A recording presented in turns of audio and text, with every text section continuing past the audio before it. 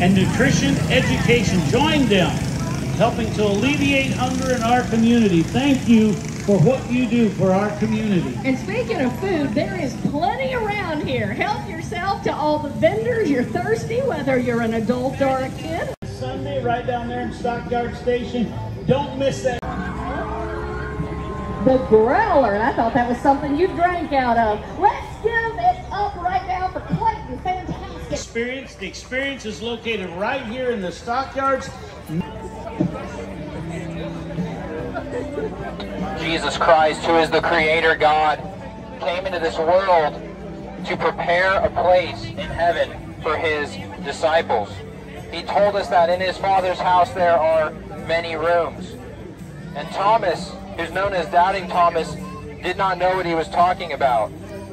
Jesus told them, Where I go, you know the way. And Thomas said to him, Lord, we do not know where you are going. How are we able to know the way? And Jesus said to him, I am the way and the truth and the life.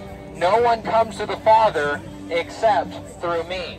You see, the reason why Jesus Christ is the only way and the only means by which we can be reconciled to God is because God is holy and he demands perfection. And Jesus Christ fulfilled all of the requirements of the divine law. He was completely obedient and all the things that we have failed in, Jesus Christ, he prevailed in. We have lied. We have stolen. We have said God's name in vain. And yet Jesus Christ, He's the sinless Savior. We see, we do not have a high priest who's unable to sympathize with us in our weaknesses, but one who in every respect has been tempted as we are, yet without sin. So based on the glorious reality of the sinless Savior, the one who is the way, the truth, and the life, let us then with confidence draw near to the throne of grace that we may receive mercy and grace to help in our time of need. And so will you come and trust in the Christ who is the way, the truth, and the life? See, he is your only hope because he is the only one who is perfectly righteous. He is the spotless lamb. He is the perfect sacrificial lamb who went to the cross to die for sinners. When John the Baptist saw Jesus Christ, he said, Behold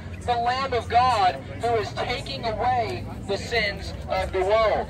And so we need a spotless lamb. We need one who is without sin. Because apart from the sinless Savior, there can be no hope. You see, God is holy. He is the thrice holy God. And we are all going to stand before God one day. We have all we have all sinned against him. All have sinned and fallen short of the glory of God. But today we're proclaiming a free gift of grace, that you can be justified by his grace as a gift through the redemption that is in Christ Jesus. See, we all know God. There is no such thing as an atheist because the heavens declare the glory of God and the sky above proclaims his handiwork. And so my question for you today is, what sin is preventing you from coming to the Christ who is the way, the truth, and the life? What sin is preventing you from coming to the God that you know? Again, we all know God and we are all without an excuse. The Bible says we are unapologetus in the Koine Greek, which means you are without an apologetic for saying that you don't know God. We are all without a defense for claiming we don't know this Creator. Jesus Christ, He has come and he went to the cross after living that sinless life, after obeying all of the demands of the law that we had failed in. He was perfectly obedient to, and he died. He was pierced for our transgressions, and he was crushed for our iniquities. And he is the one who has inaugurated this glorious salvation. He is the one who has inaugurated a perfect peace, a perfect redemption. And so it's by the blood of the Lamb that you can be redeemed today. You see, it's not based on your works, it's not based on the good things that you do, but it's based on the merciful character of God. The Bible Bible says that we are saved by grace through faith, and this is not of you. It's not something that you can do in and of yourself. It is the gift of God, not of works, so that no one may boast. And so my only boast is in the cross of Christ, the one who is the way, the truth, and the life. You see, apart from Jesus, there is no life. The Apostle John, in his letter in the first, uh, first epistle of John, he says, the one who has the Son has life, and the one who does not have the Son does not have life. You see, we are not presenting the Christian worldview as the best possible worldview, or a worldview that's going to make your life better, but we're telling you that because Jesus is the source and foundation of all life, and he gives all life to all creatures, you can't even have life apart from Jesus Christ. There is no life apart from him. And so this is good news for you, that you can come and have everlasting life because he has prepared a place for his disciples, those who follow after him. Now, what does it mean to be a disciple of Christ? Well, Jesus said that if anyone does not hate father, mother, brother, sister, and even their own life, they are not worthy of following me. But what he meant is, your love has to be more than. Anyone who does not love me more than father, mother, brother, sister and life is not worthy of me. See, Jesus told people to count the cost, to consider what it is to follow after him. See, whoever loves his life loses it. Whoever hates his life in this world will keep it for eternal life. That's what Jesus taught. So what does that mean? Well, if you love your reputation, if you love your identity, if you're clinging on to the things of this world, well, then you're going to eventually lose your life because you're loving that which is contrary to God and contrary to his law. If you're loving your sin, if you're loving that which God says is contrary to his ways, that which is not righteous, that which is not good, well, then you'll lose your life. But if you hate your sin, if you hate your identity in this world, then you will keep it. You will have everlasting life. The Bible says, Do not love the world, nor the things in the world, because if anyone loves the world, then the love of the Father is not in him. And so the call for you is not to love the things of this world, not to love the unethical standards of the world, but to love Jesus Christ, the one who has conquered sin, death, hell, and the grave. See, he is the author of life, and we try to kill the author of life in our sin. But what happens when you try to kill the author of life? Well, he emerges victorious from the grave because the pangs of death could not hold him. And so we're here to proclaim to you that Jesus Christ has prepared a way for his disciples through this free gift of grace. Salvation is a free gift of God. You cannot earn salvation. It's all based on his grace. The very definition of what grace is, is it's no longer on the basis of works. It is unmerited favor. It's favor from God that we don't deserve. It's favor from God that we cannot earn. And this Christ is the true and living God who has come to die for ungodly sinners like you and me. And so the call for you today is to repent and believe, to come and have peace with God, to actually receive reconciliation for your sins, not to trust yourself, not to trust your reputation, not to trust the clique that you belong to, not to trust your identity or your job or your material wealth or any of those things, but to trust in Jesus Christ, the one who has died for the ungodly. Speaking of God the Father in the book of Colossians, it says, who rescued us from the authority of darkness and transferred us into the kingdom of the beloved Son, in whom we have redemption, the forgiveness of sins. Jesus Christ's earthly ministry went about telling people, your sins are forgiven you. And the Pharisee said, this man is committing blasphemy. Who can forgive sins? And the reality is only God can forgive sins. And yet Jesus forgave people because Jesus is God. The Bible says, in the beginning was the Word, the Word was with God, and the Word was God. And it says that the Word became flesh and dwelt among us. So the Word that was God became flesh and dwelt among us, just as the Old Testament prophets prophesied. The prophet Isaiah said, For to us a child is born, to us a son is given, and the government shall be upon his shoulder, and his name shall be called Wonderful Counselor, Mighty God, Everlasting Father, Prince of Peace. Of the increase of his government and of peace there will be no end. On the throne of David and over his kingdom to establish it and to uphold it with justice and with righteousness from this time forth and forevermore. The zeal of the Lord of hosts will do this meaning that God will accomplish the increase of his government. The scriptures tell us that the kingdom of God starts out like a small stone and it grows to be a mountain that fills the whole earth. And so what we see in this text is that Jesus Christ is the mighty God who is the Prince of Peace, who came to bring peace between God and man. Our sins have made a separation between us and our God so that he does not hear. But Jesus Christ is that glorious mediator who gave his life as a ransom for all who would follow him, for all who would call upon his name will be saved. And so in Colossians, we see that it's in Christ that we have redemption through his blood, the forgiveness of our trespasses and the forgiveness of our sins. It says that he is the image of the invisible uh, God, the firstborn of all creation. See, he is the image of the invisible God, the firstborn of all creation. That doesn't mean he actually came into being. The word firstborn in the Greek is prototokos. It means that he is the rightful heir over all creation. That the creation is subordinate to Christ because he's the one who created it and he is the one who rightfully rules over it. He is the King of kings. He is the Lord of lords. And when he rose from the grave victorious after being pierced for transgressors like you and me, he rose up.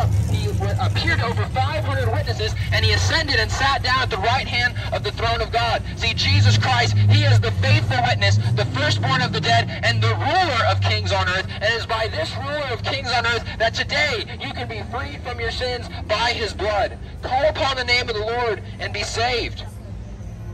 Because in him all things were created, in the heavens and on the earth, the visible and the invisible, whether thrones, whether dominions, whether rulers, whether authorities, all things were created in him. Jesus Christ created all things, and in him uh, and he is before all things, and in him all things hold together. See, all things are held together by Jesus Christ. The universe is held together by the righteous God who has created us.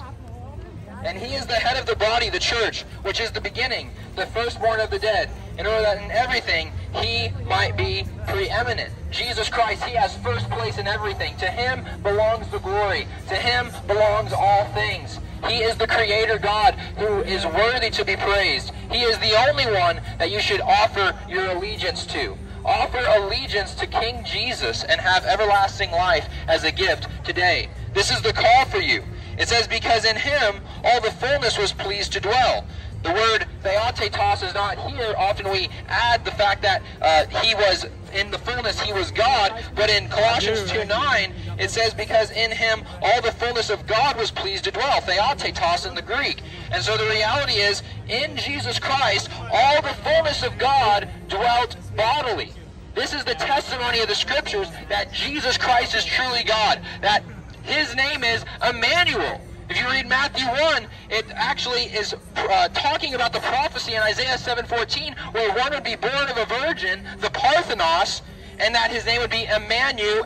That word El is short of Elohim, which is the Hebrew word for God, and El is also a Hebrew word for God. And so Jesus Christ, he is God with us. He is near to our hearts. He is near to us, and he is the one who lives to intercede on behalf of all who believe in him, to all who call upon his name. He gives them the power to become a child of God. You can become a child of God today if you repent of your sins and turn away from your debauchery. Again, we all know this God. We all know he exists, but do you actually love him? Has your heart been changed? Has he caused you to be born again to a living hope?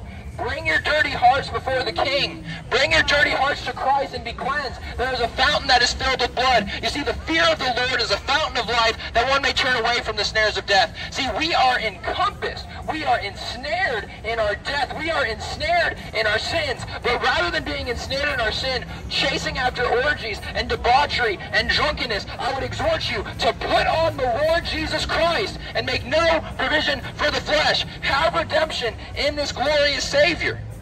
It says, and through him to reconcile to him all things, making peace through the blood of his cross. Through him, whether the things on earth or whether the things in heaven.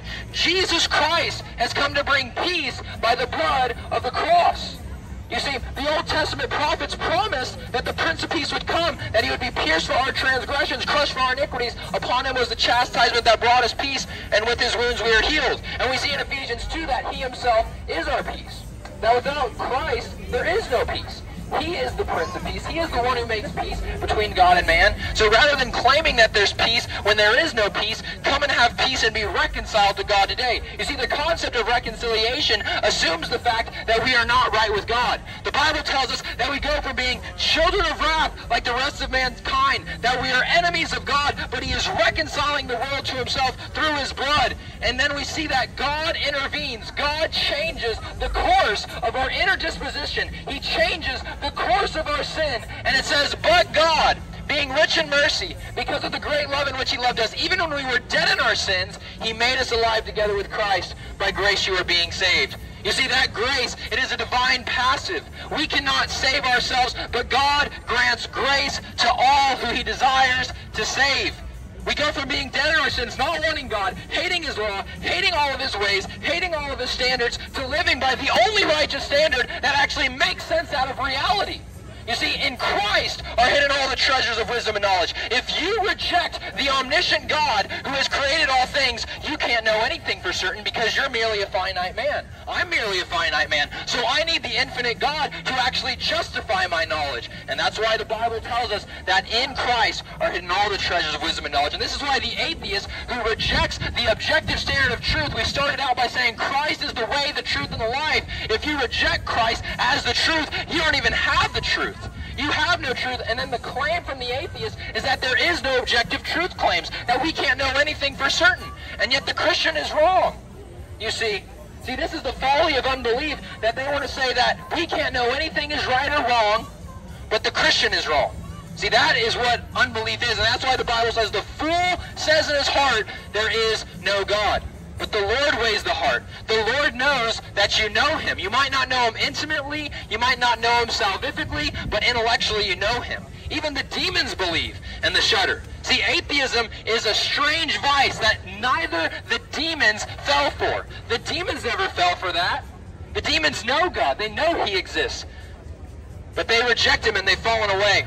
And so take your suppression of truth and stop it. Stop suppressing the truth of God and unrighteousness and receive the Christ who died for the ungodly. Have redemption. Have redemption for your souls. What will it profit a man if he gains the whole world but loses his soul? And so bring your miserable souls to Jesus Christ, and he will cleanse you of all of your sin and all of your unrighteousness. See, if we say we have no sin, we deceive ourselves and the truth is not in us. If you claim to be a good person, you don't even have the truth in you.